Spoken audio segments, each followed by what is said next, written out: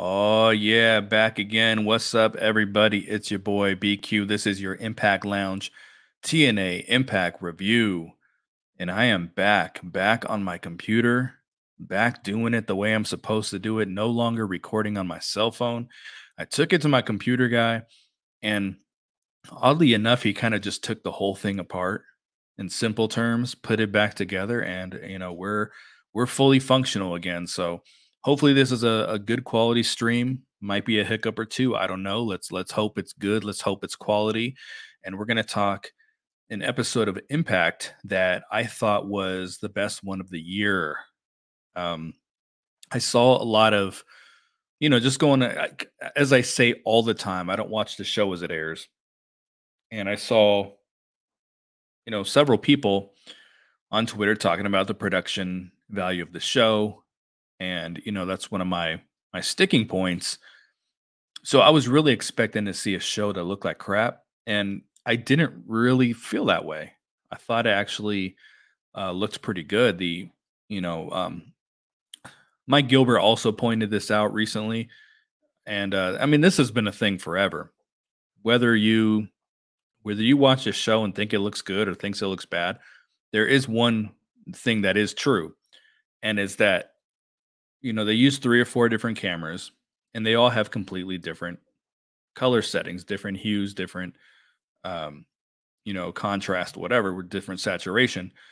This was the one episode that the cameras looked about 90, 95% balanced. You know, like no matter what camera they cut to, the show looked consistent. And that made it an easier viewer experience for me but my eyes have already become accustomed to knowing every time they switch camera angles the show's going to look different and you know that wasn't the case this time around. It it so it, it, was pleasant for me. It was a pleasant viewing experience. I thought um i really thought it was the best show of the year. You know they've, they've had a couple good shows they've had a couple decent shows. I don't know if they've had a bad one this year. I feel like i feel like i remember reviewing one that i said i didn't like very much. It might have been the second um Snake Eyes one, even though I was there in person, because you you appreciate a show in person a lot more than watching on TV. Like you, you're into the emotion of it, into what's going on, and you don't see it quite the same way. You know, because a lot of people had asked me when I was at Snake Eyes, does the show feel different? Is it is it does it look just like Impact? You know, and I said no. But now as I watched it on TV, I'm like, okay, it is more impact than I realized. But you're just the viewing experience is very different. But I want to say it was that second Snake Eyes one on TV that I didn't think was was their their best episode. Um, to give you guys an update, I'm going to Indianapolis in a couple weeks to the um, uh, fucking wrestling expo. I'm trying to think what the hell that Squared Circle Expo. Uh, it's a real big time wrestling convention. If you guys remember, a couple years ago, when the Good Brothers and I believe Heath were around, or it was Brian Myers. I'm sorry, Brian Myers and Heath. They convinced, you know, the powers that be at Impact to hire these guys to to do work with them to promote their next show. Because this this convention is just so popping. Like I think this is the fourth year. I've been every year, and it was a lot easier when I lived in Illinois because it was a three and a half hour commute. Now I'm, I, I got to fly across the country.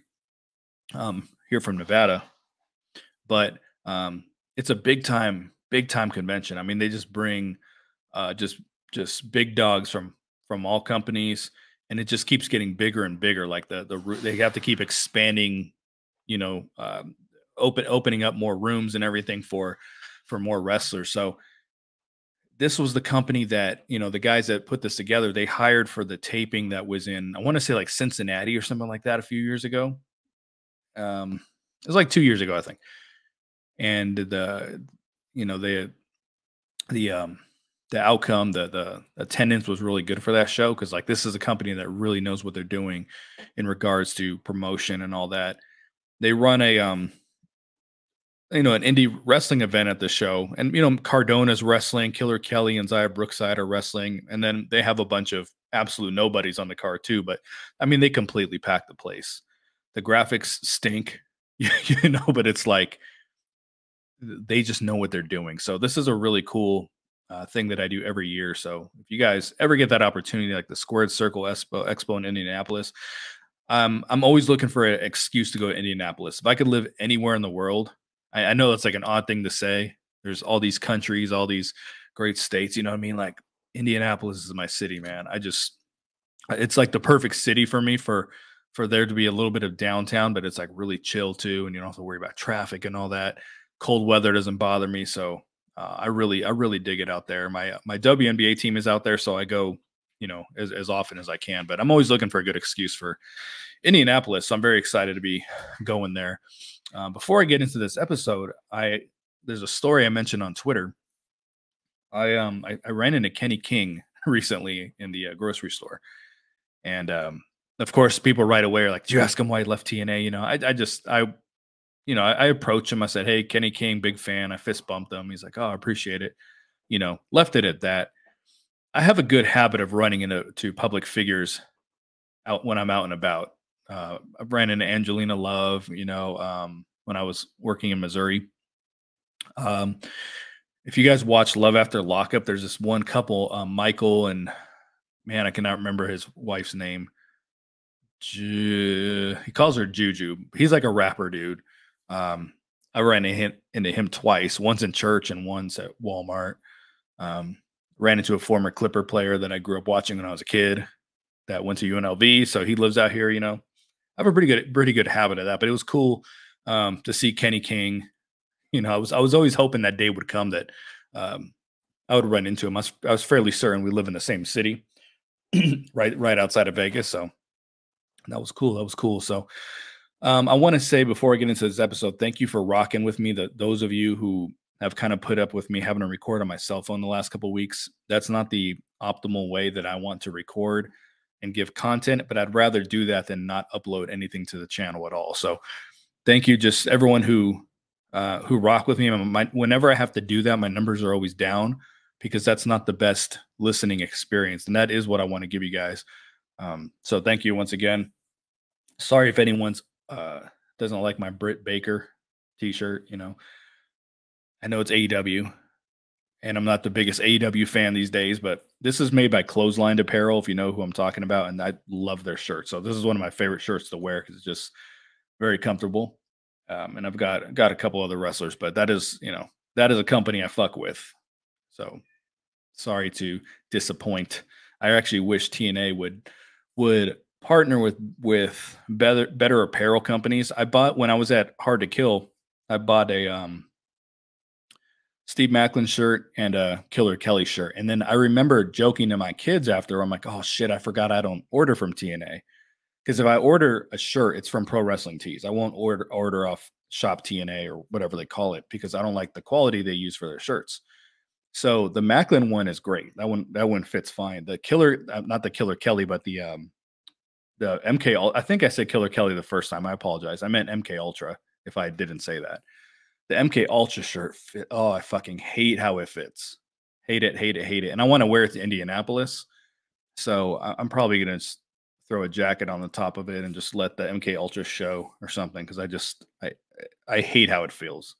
Um, so I wish I would find a better company out there to to partner with. I think they did collar and elbow for a little bit, but uh, I don't think that lasted. So hell of an opening here. Um, let's get into this episode. Usually I jump into it a lot quicker than this, but I, you know, kind of had to update you on a few things.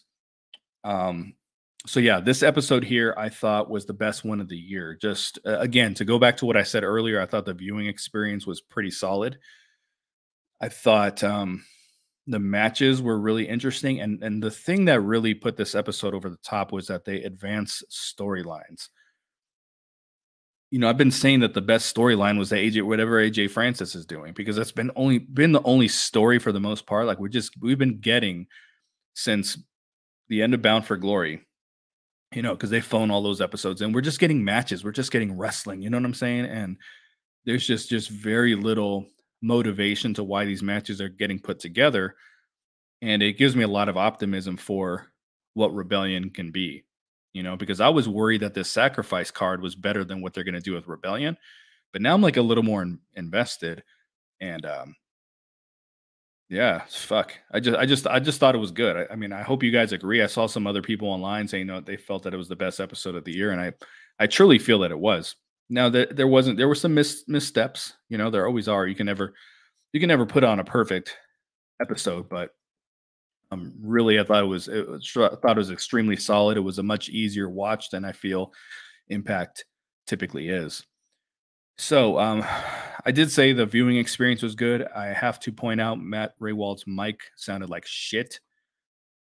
Some people did catch it. If you didn't catch it, awesome. Um, for the most part, as long as he was talking in a decent volume, it was fine. But the minute he raised his voice, it got very distorted.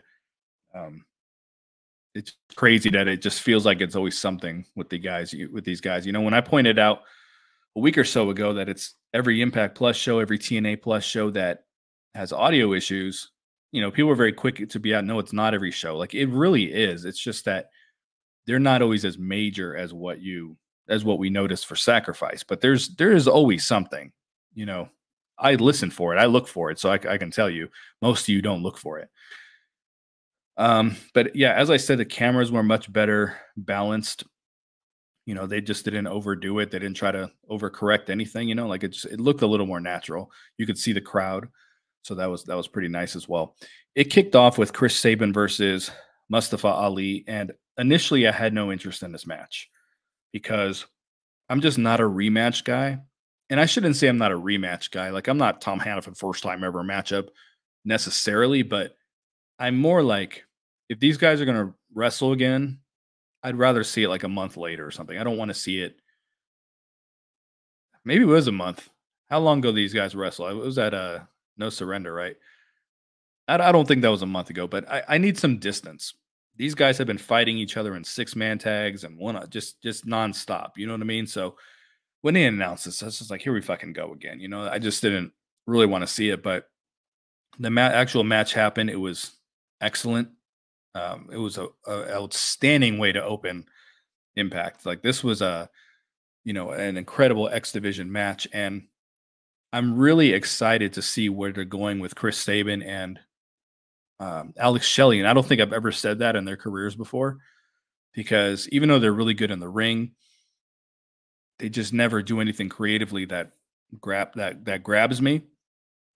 And I, you know, I had been saying that this is the time to split them up or to feud them in one way or another. You can always bring them back together. But they've they've become bland. They were they were champions, both individual champions for a really long time, with not a lot of story going on.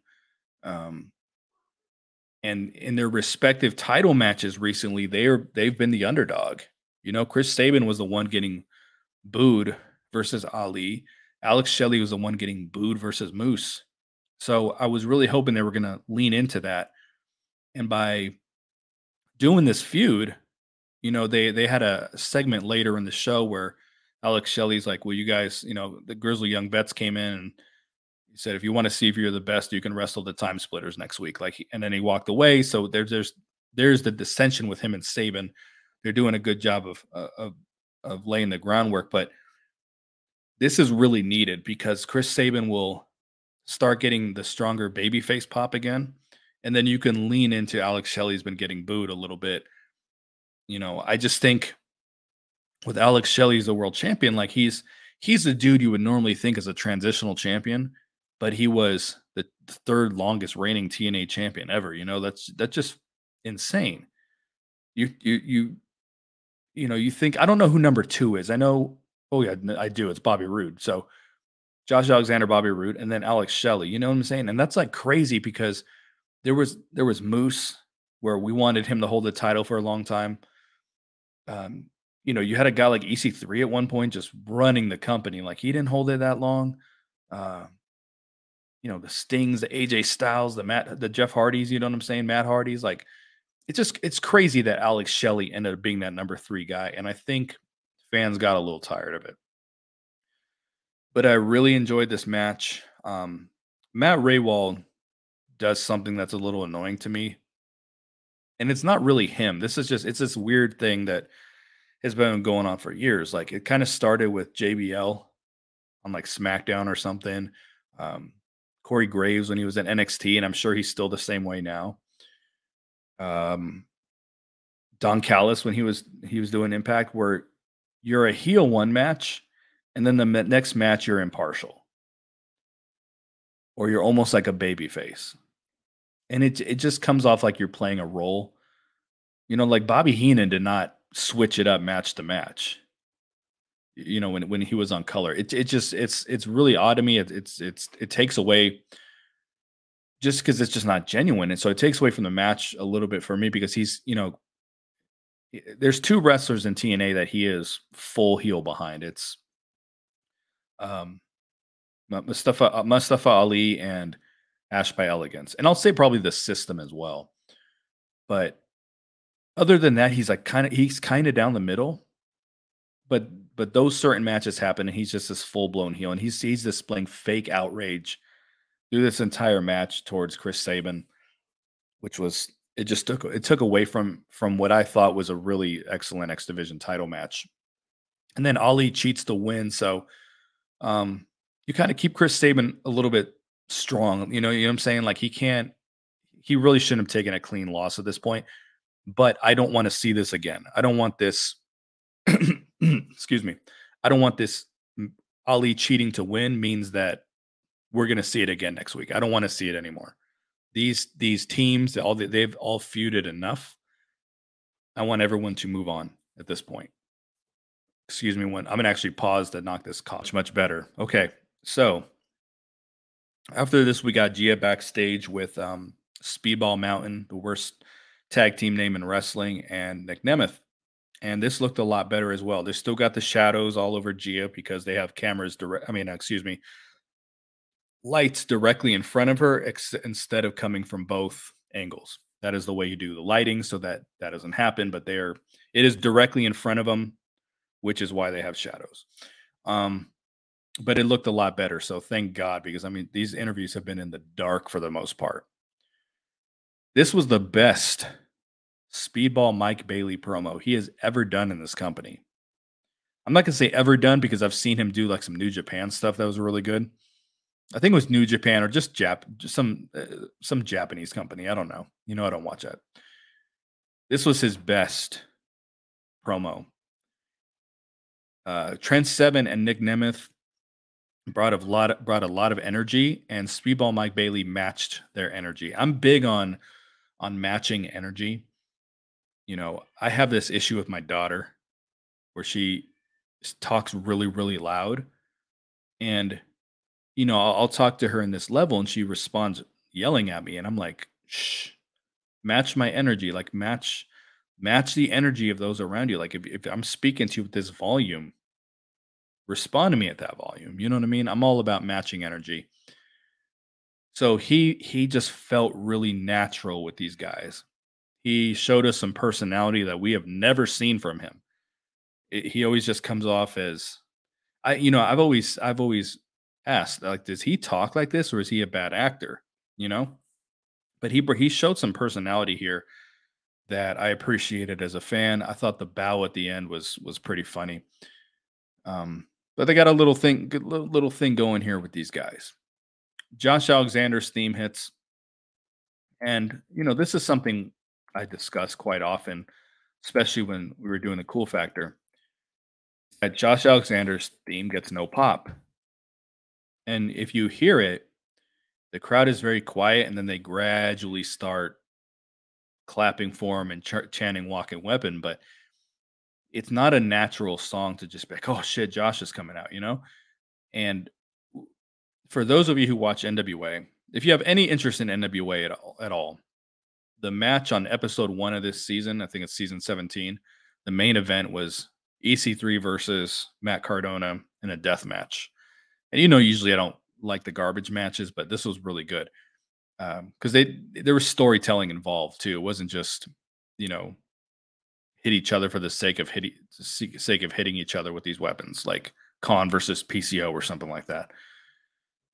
And um, EC3's EC3 excuse me EC3's theme is a little similar to Josh Alexander. It's a much better song, but it's kind of slow and it's majestic. It's a little plotting and it the people don't like he's over, but he, the people don't pop to it. You know, like you, you just kind of stand and clap.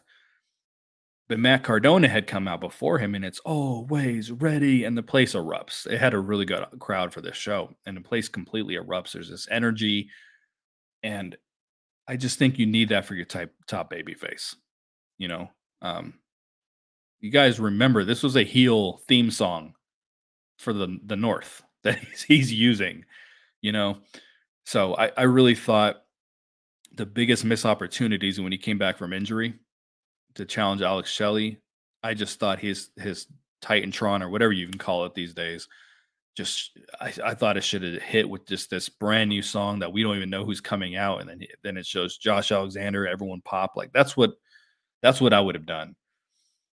So apparently he was unable to purchase new headgear. I was he is cutting this promo, and I'm staring at him the whole time, wondering what the hell's behind his ear until I finally realized it was his his mouth guard because he was out there dressed to wrestle. Even though he was just there to cut a promo, he was there to wrestle. His promos are getting better. The same general message is the foundation of all of all of them. You know, I'm I was the world champion for this company. I'm the best damn wrestler in the world. The foundation is it just doesn't change. I just want him to get away from like that a little bit but he kind of did. You know what I mean? Even though it kind of started off with that shit, I'm like, here we fucking go again. He he went a different direction. And, you know, he had said my goal is always the world title picture, even if it doesn't seem like it, I'm focused on it because I'm wrestling people like Simon Gotch. And it was kind of a, I felt like it was a dig at him, but it, it's it was cool that he pointed that out because he's wrestling in the mid card right now. Like he's just telling you, hey, I'm I'm a main eventer, even though I'm wrestling in the mid card right now. You know, um, it's kind of like something they should have done with Rich, Rich Swann once upon a time, where he loses the title and then he's just in the mid card and they just leave him there. Where Josh is reminding you, like, hey, I'm that dude, but I'm wrestling Simon Gotch, I'm wrestling Alan Angels because you know I got some business to take care of here, but but I, I am that dude that's supposed to be in the world title picture. So I thought it was one of his better promos. And then Bravo, uh, Oleg Prudius, and Dango come out and I said this on my last review. They they look like three teenagers, not even teenagers, uh, kids. I, I, guess you should say. Not that they are kids, but you'll understand the analogy. They look like three kids that went into their grandparents' closet and just put on whatever they they saw. There's no continuity or consistency with this group, this stable. They don't have a name. It's just like it's like you threw three dudes together, you know. Um, and I keep saying, what is their mission? What is the what is the mission statement with these guys? And then they kind of tease that we're gonna wrestle a bunch of jobbers every week. We're gonna open a wrestling school. Like they, they're saying things, but nothing is really happening on screen. So ultimately, we get a match that's Oleg Prudius versus Josh Alexander, and this was a was quick and painless. I was shocked to see online how many people were upset that Oleg Prudius was essentially squashed. He did get a lot of offense in in the beginning, but I was shocked that so many people had a problem with this outcome because I don't think he's someone we care about that much.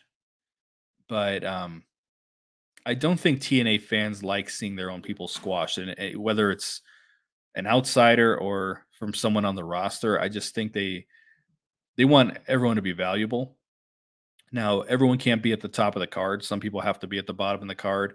And it's also not to say that every match should be uh, competitive like AEW does. You know, they'll put a main eventer versus someone at the bottom of the card and it still goes 20 minutes. When I went to that collision taping, I mentioned that Ring of Honor, they had four women's Ring of Honor matches. They were all enhancement talent matches and they all went 10 10 plus minutes. You know what I'm saying? Like, so I get there has to be a place for this in the card. You know, I mean, everything can't be competitive, but I think I, I do think TNA fans value everyone on the roster and don't want to see guys squash like that, especially in a scenario like this where like why these guys these guys are taking up screen time every week. But there's no again, there's what is what are they trying to accomplish? Like we're just not getting that. So I, I, I don't know, but I was I was actually surprised that that many people had an issue with it. I would love to actually hear from you guys regarding that if you feel you had an, you know, if you did not like that outcome. Crazy Steve came out, cut a really good promo. He's a great talker. He'll be at um the expo that I'm going to. Killer Kelly will be there. Brian Myers. Um, I'm trying to think what other what other TNA stars are going to be there. I cannot think off the top. I think Frankie Kazarian's going to be there. I'm, I'm pretty sure. Um, even though he's blocked me on Twitter, you're not a real fan of Frankie Kazarian hasn't blocked you. Let me tell you that he's blocked a lot of TNA fans. Um, I don't know. I'm, I'm, I'm sure it'll come to me, but Killer Kelly's gonna be there, which I'm stupid excited about. Um, but yeah, Crazy Steve, and I mentioned this last year. Crazy Steve has like excellent handwriting, which is weird because he can't see. But he came out, cut a cut a really good promo. You know, talks about I beat Joe Hendry, I beat Rhino, I'm beating this guy and this guy. I, I'm the only champion defending every week because now we're getting a lot of champions, whether it's Moose, Mustafa Ali, like they're in tag matches, right? So he's kind of like, hey, I'm the only guy really defending this title right now. And he's, you know, setting the groundwork for his next opponent. And guess who the fuck came out? The TNA crutch PCO. Do you know that PCO is wrestling Kon again on this next set of tapings in a Monsters Ball match? What is the difference between a Monsters Ball match and what we just saw? Well, I mean, I kind of know the difference with Monster Ball, Monsters Ball. They'll do the um, like the barbed wire boards and shit like that. It's like different weapons, I guess. And I, I mentioned last week when I was reviewing, no, when I did it when I reviewed Sacrifice. Not a lot of people listen to my Sacrifice review because I released it so late. When I was a kid and they did a no DQ match, it was because the heel was intentionally getting disqualified to avoid wrestling the baby face or avoid losing to the baby face. Now, yeah, Kon did get himself uh, intentionally disqualified, but it was because he was using weapons or whatever the hell outside the ring. They were just setting the groundwork for a garbage match that we, we knew was going to happen. You can't have a feud with PCO without a garbage match. And um, you know they do like a no DQ no count out where there's the the point was to make sure there was a definitive winner. And that was the difference between doing that versus like a street fight or something like that. There's no there the the, the lines are are very blurred with this with with TNA. You know, they do the street fights, they do the monsters ball no DQ like it's almost kind of the same match it's not so a, a, no DQ match wasn't hey let me bring a bunch of trash cans out with me to the ring like what they did with Big Kon. Um, yeah, but so PCO comes out. He's the, he's the crutch. He's the big show. He's Kane. He's um trying to think some other crutches in wrestling that you need an opponent and you you throw this guy in. For for TNA, it was it was Tommy Dreamer. It was Petey Williams. It was suicide. You know, like we just we just got to insert this guy in there. PCO is over with the people. It is a gimmick that that works for a lot of people.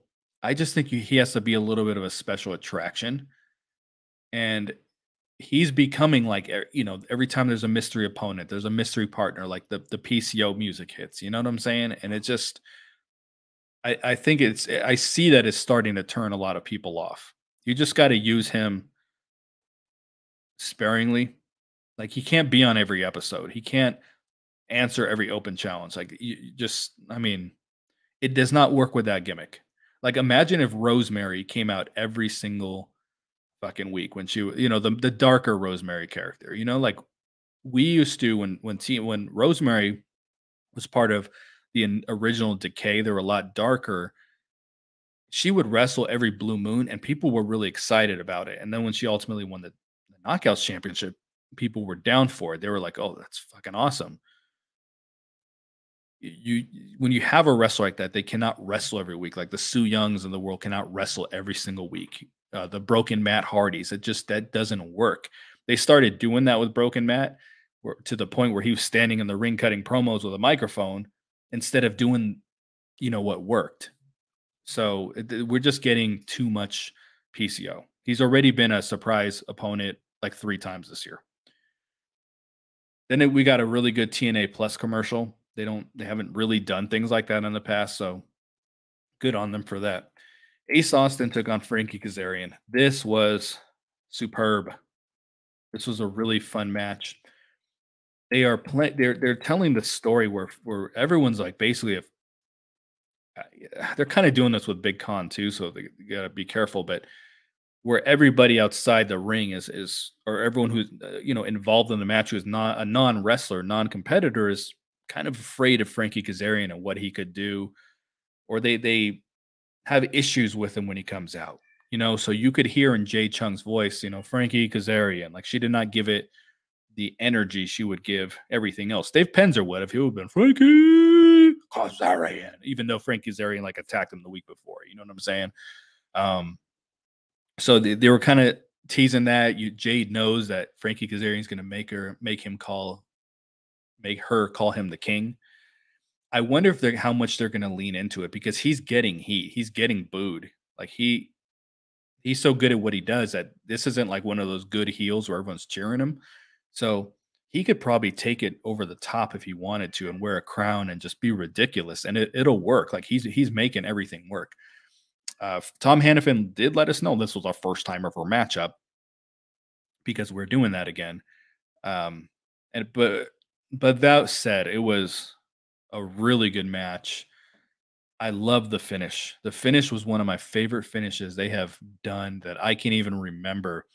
Where Ace Austin went for a bridge and and just like smooth the flow of water, man. Frankie Kazarian just puts him in the chicken wing and taps him out. When you do shit like that, it makes your winner look strong and it makes the loser not look weak. You know, like he took an L, they just lost the titles, but we don't think, okay, Ace Austin's getting buried. Because the story was just that us, you know, it was a competitive match, but Ace Austin just had a misstep.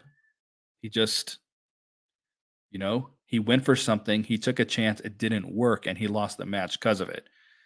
It's telling the story of like, hey, if it didn't go that way, maybe he would have pinned him here. He could have beat him. It could have gone either way. So just it was it was just smooth. It was beautiful. Loved it, loved it.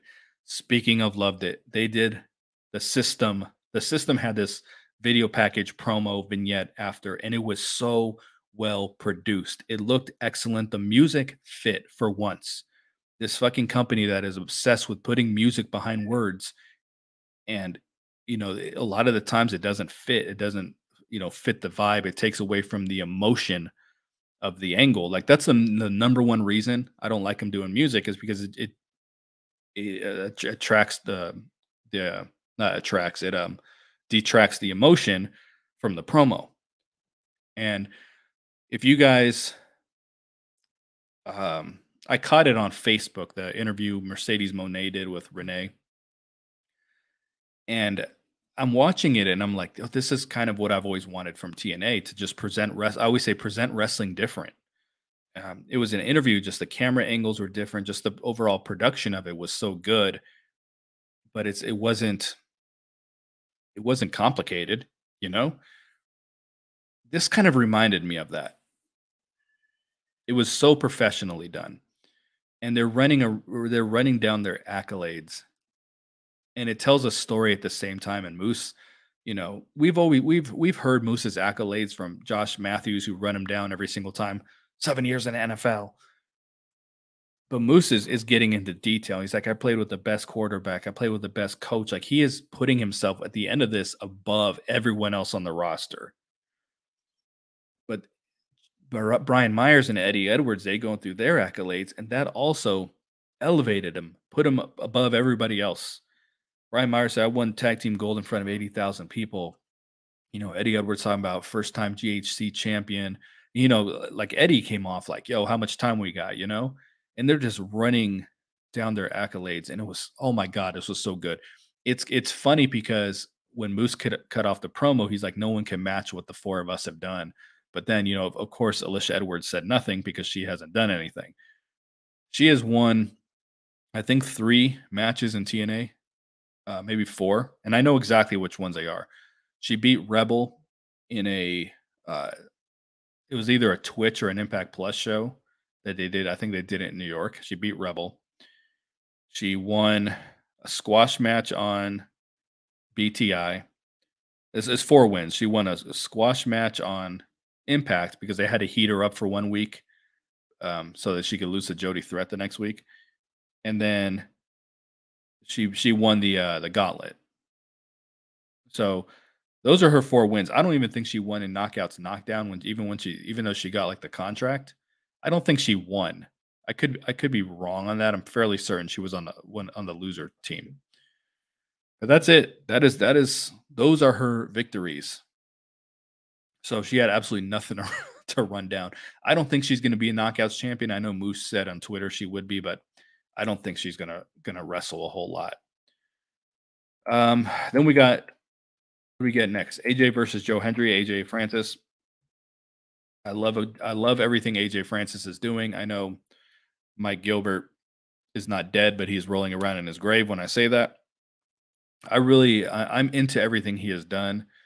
And you know, the in-ring doesn't bother me because I really like the promos and he's been involved in a story since he's he's been there and he actually comes off like a star. Like if you put him in the WWE environment, like he's a people kind of feel like he's a joke or whatever, but I feel like in this environment he really comes off like a star. He has more money than anyone on the roster, maybe not named Moose, you know what I'm saying? So um he comes he comes off like a big deal. I thought the Joe Hendry promo was unnecessary though.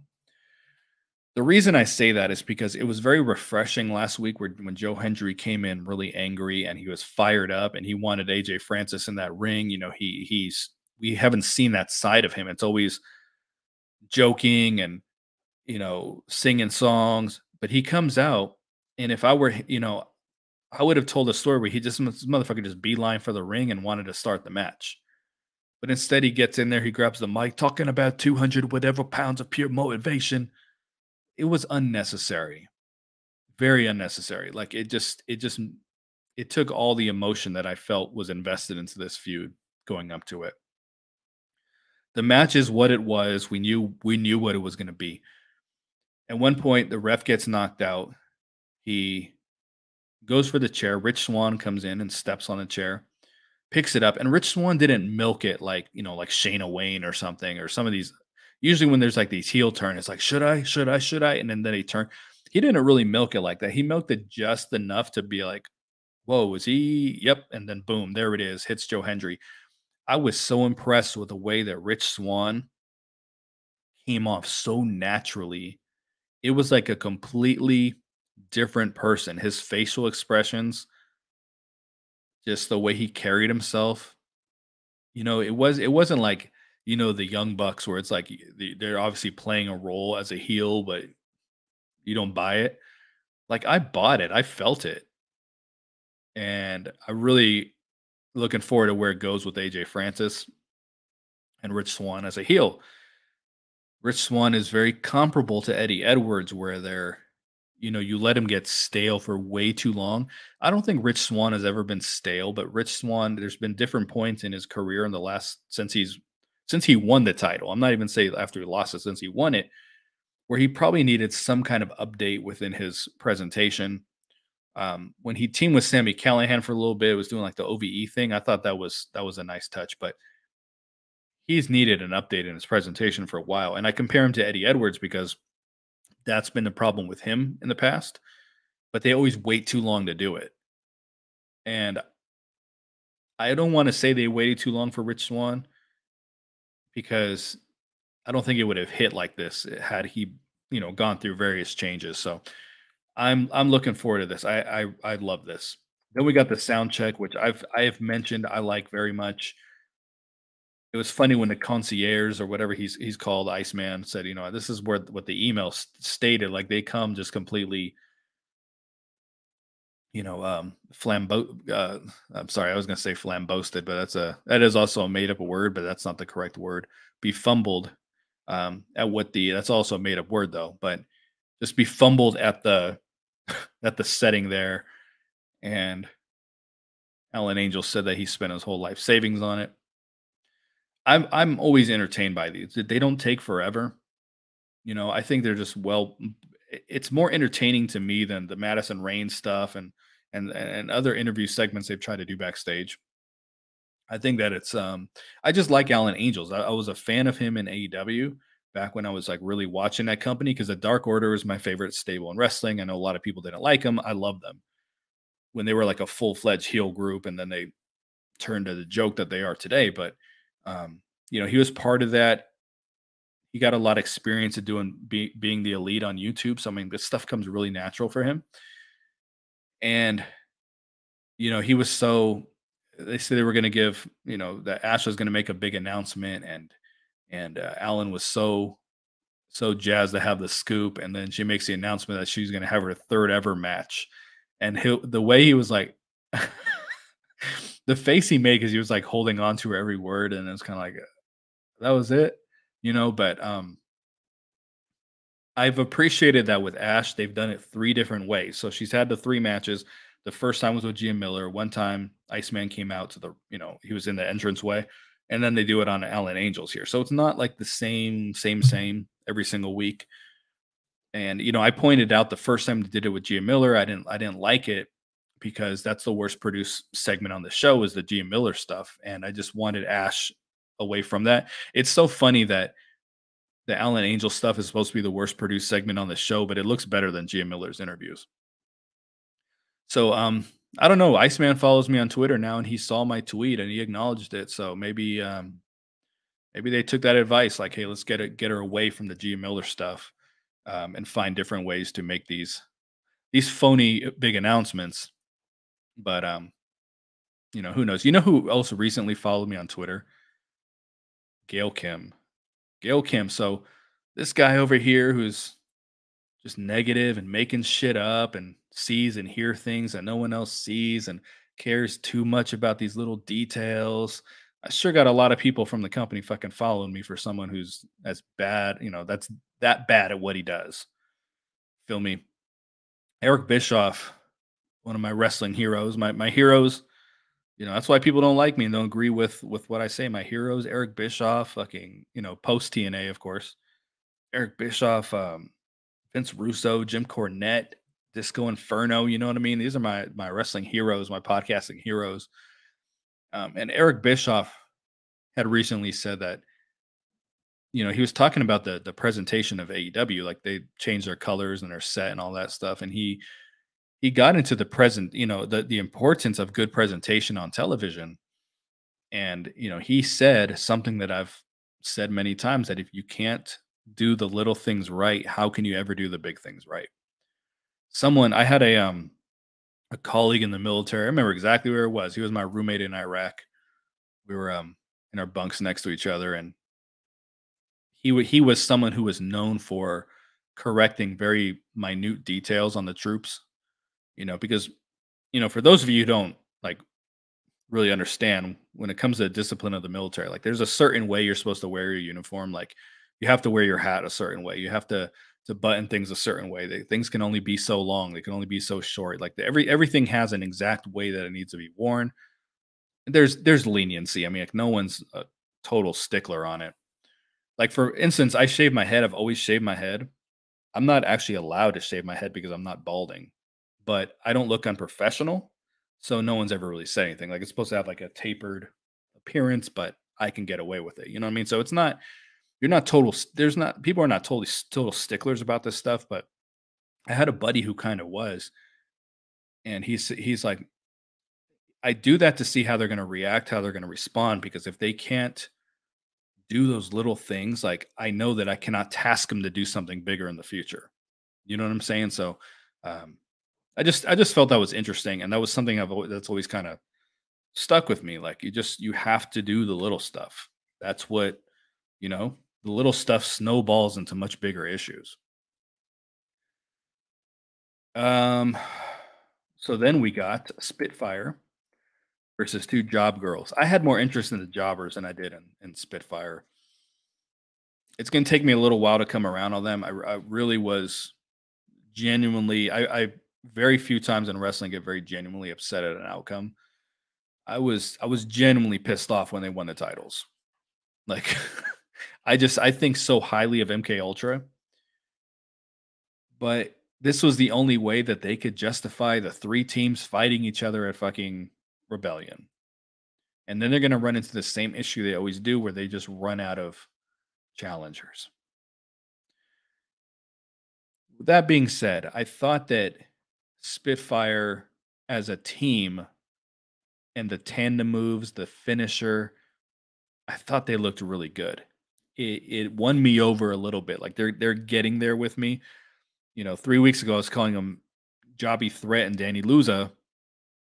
Now they're the tag team champions. So I can't, you know, I, have got to start trying to look at them through different eyes and um, you know, not judge them on how they've been like previously booked. Like they were making a big deal when Jan- Dani Luna won her first match. I mean, and now they're the tag team champions. Jody Threat, what's your favorite Jody Threat match? You know what I'm saying? Like the only person she's ever beat is Alicia Edwards like three times, and then a couple job girls.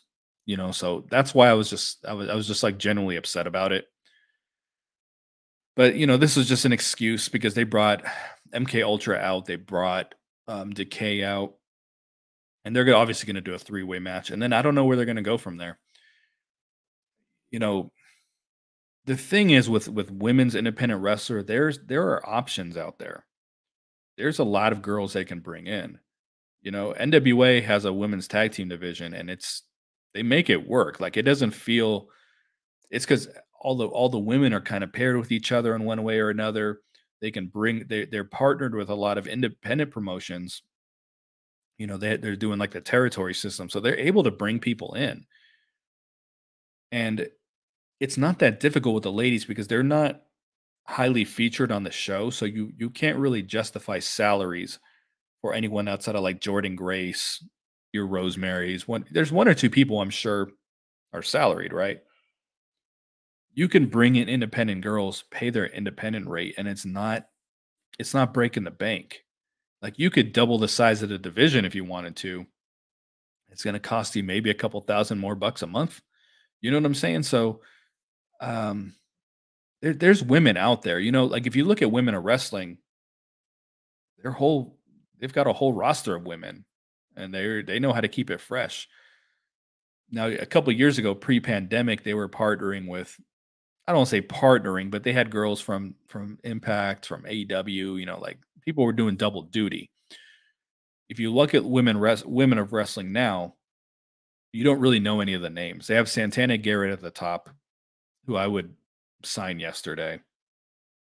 And they got like Hollywood Haley J, but like for the most part, you don't know the wrestlers. They they really plucked off the indies of obscurity to create this roster. So you can do it. It's there. You can still bring the hex in. Um, I, I I would imagine the Renegade Twins are not under contract with Ring of Honor. They might be. You know, like there there's there are some teams out there. Um I don't think they have a good relationship with the NWA anymore. They don't have a good relationship, but Billy Corgan was saying that the guys at TNA just want to do them. They weren't really interested in partnering any further. But if you were able to get like pretty empowered in there, you know, like there there's some things you can do with this tag team division, but they need help ASAP. They need to beef this thing up. But the the potential is out there. There is there are women out there because there's so few roster spots overall in women's wrestling. But there's girls you can bring in off the indies that they don't have to be at the top of the card, but you can you can beef up the division without spending a lot of money. Tasha Steelz comes out after this to challenge Jordynne Grace. You know, I thought, okay, cool. They're going to build a little something here. No, we're getting the match next week. But at the same time, we know we're getting Ash versus Jordynne at at uh, Rebellion. Like with that's that just goes without saying. We we already know what it is. There is a a TNA style of booking that they do not get away from. It's it's someone coming in, winning two matches, and but because of where they came from, they're you know automatically the number one contender. So Ash by Elegance is probably going to be her third job girl next week, and then she's going to be a number one contender for the Knockouts Championship, which I think she will probably win because it makes just it just makes no sense. Look, who the fuck is Jordynne Grace going to fight at this point? You know what I mean? So um, I think Ash is going to win, but they just they just have a habit they can't help themselves. Um, there's just no slow build to a title match, and maybe maybe it's just the format of the show. They have four shows a month. They they choose to do an Impact Plus show every other month. I mean every month but they choose to define the, to defend every single fucking title every time when you can do you know, number one contender matches, and you can you can like further the story, but they don't do that. They just keep they have to give you so many title matches. I just which I I'll just never agree with. And then you you know you run into this issue where everything just feels so fast. So um yeah, we're getting Tasha Steelz getting another title shot despite losing the other day. I know she wasn't pinned, but she lost.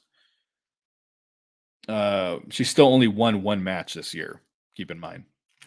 And then we're getting the uh, the main event. We got the main event here, which was the Rascals and Steve Maclin versus Speedball Mountain and Nick Nick Nemeth. And there's Spooky the Cat making his appearance on the show. Um, drinking out of my best mom ever coffee mug. They're breaking up Maclin and the Rascals here. And and part of me is happy about that because if you caught my rant a couple weeks ago.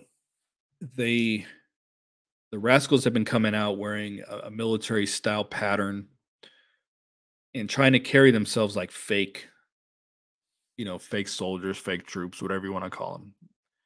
And it upset me. Um, spooky yawning. I'm not that boring, Spooky Luke. Okay. Um, it upset me greatly because I take my service very seriously. I've missed a lot of holidays. Um, I've lost people I've worked with. You know, I mentioned I, I lost my spouse in 2012. Um, I, ju- I just I take it so serious, you know. And these guys coming out goofy, fucking salutes and standing at attention with goofy looks on their face, and it, it genuinely pissed me off. And I, I don't care that it's wrestling because I just I respect the people I've like served next to and work with too much for to see that kind of shit on TV.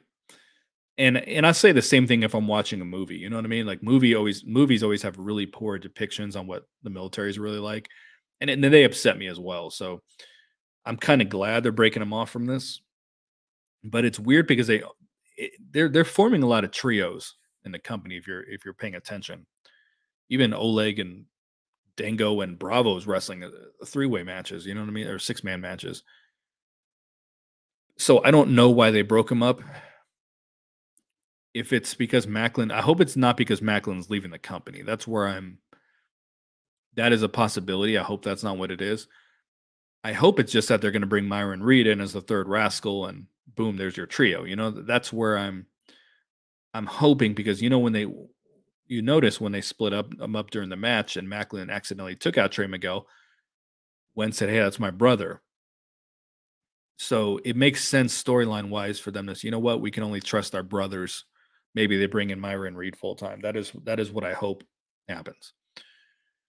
But overall, this was a really good match. And then Speedball Mountain and Nick Nemeth won. We knew they were going to win. The Rascals have taken L's nonstop. Maclin has taken L's, L's nonstop.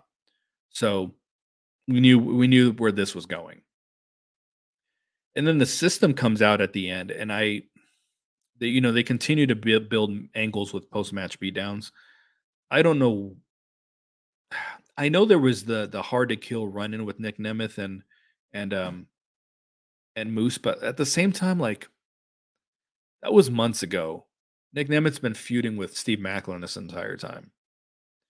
I I just don't really understand why that. Maybe I'm missing something. Maybe there's a, something in this story I'm missing, to where Moose and Speedball Mount, or excuse me, Moose and the system came out and, and attacked these guys after the match.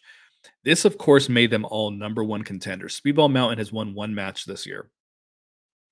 Uh, they won this match, obviously, but I'm talking as a tandem. They've won one exactly one match.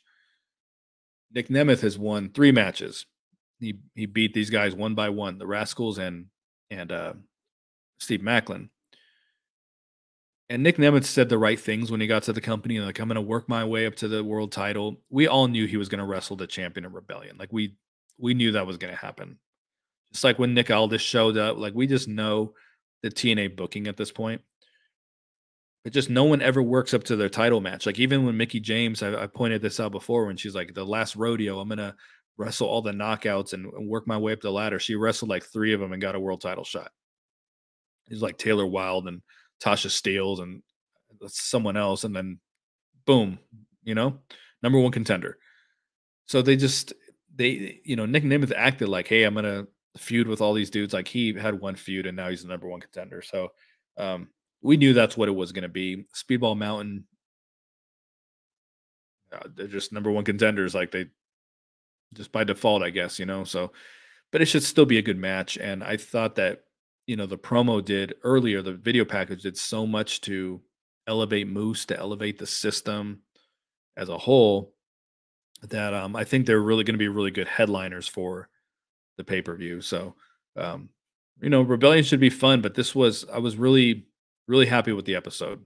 I just thought I, I really thought from top to bottom it was formatted well. It was a pretty easy watch. Again, the the cameras were balanced. You know, Jim Miller wasn't talking in the dark. You know, like it, it just it was good. I thought, you know, I think the um, I, I always talk about the slow mo videos packages in the beginning going too long. Excuse me. Um, I guess I understand after it's after a pay per view or after a TNA Plus show, like you feel the need to wrap up what happened. So I get it, but um, you know, it lasts three four minutes, and then they play the intro, and it's just it just takes too long for the episode to start. That's always kind of been my issue.